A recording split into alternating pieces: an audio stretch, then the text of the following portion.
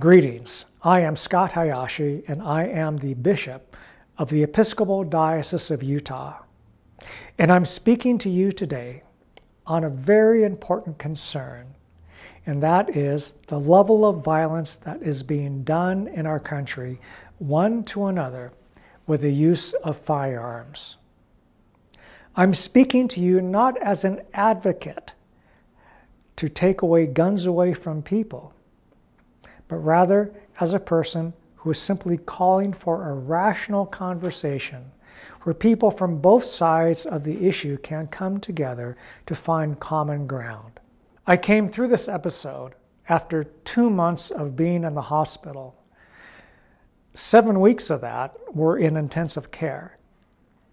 I received 60 pints of blood and had five major surgeries and I had a great deal of time to reflect upon my own life and the events that took place that evening. What I realized was that there was nothing I could have done to have stopped what was happening.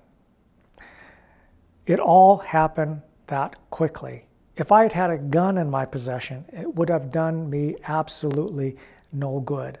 In fact, most likely the gun may have been used against me or stolen because one moment I was there standing, the next moment it was over and I was on the floor.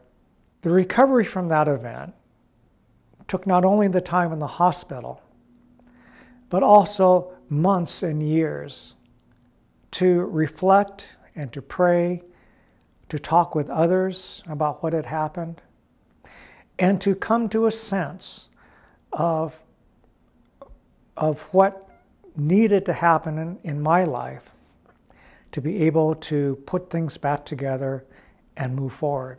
But I do believe, and I strongly believe this, that we have reached a point in our country where the violence with the use of a gun has gotten to the point where the simple safety of many people is in jeopardy.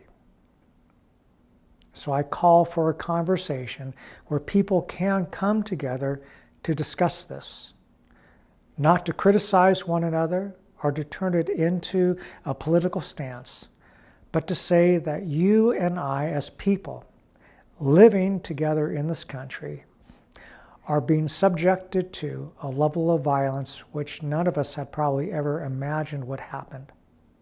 And many of us, I believe, are waiting for a conversation to happen